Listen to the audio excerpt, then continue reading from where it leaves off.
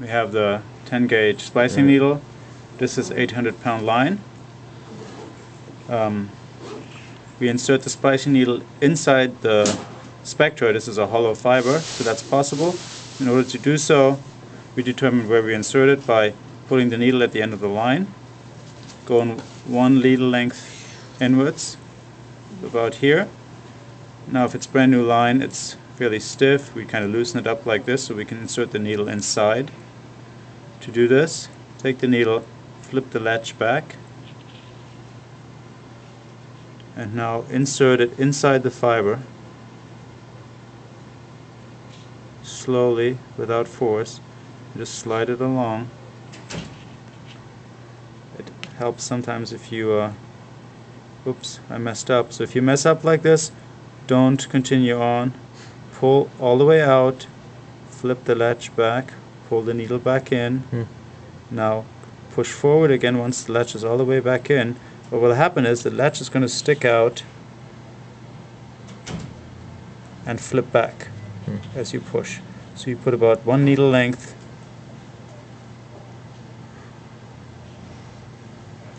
so this at this point we're going to come out of the fiber right here all the way out with the latch grab a big loop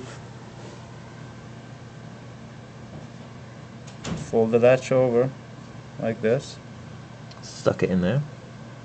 Now we're going to pull this loop through all the way. Keep going, keep going, all the way until the line turns inside out. Like this.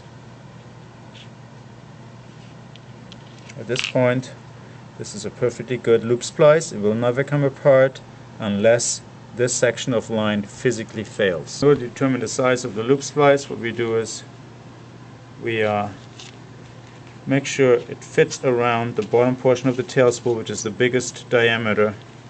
We have to feed it around, so you can just tighten it like this. It's good enough. If it's bigger, it's not a big problem, just gonna make it a whole lot bigger. Now we're going to tuck the tail end back into the line. In order to do that, we kind of lay it next to the line that we want to insert it in, go about a half inch behind it, open this area up like this,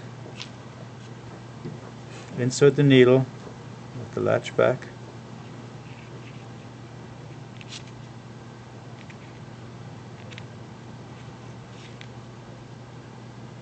Important thing is not to force the needle because it will pop right out. Now we work ourselves to the point where the line disappears inside the other line.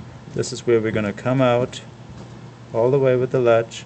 We're going to grab this end piece in such a way that there's only about 3 eighths of an inch to about Mm-hmm.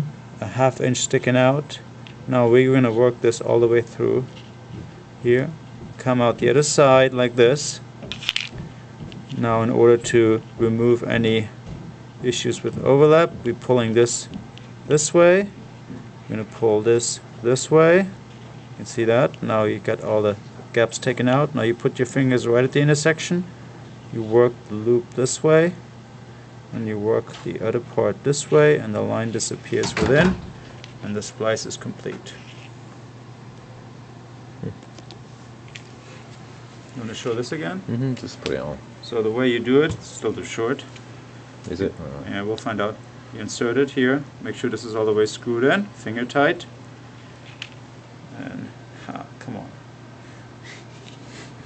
so, you loop it around. Mm, Give me a little more. There we go. Pull it back up, like this, girth hitch it, and you're done.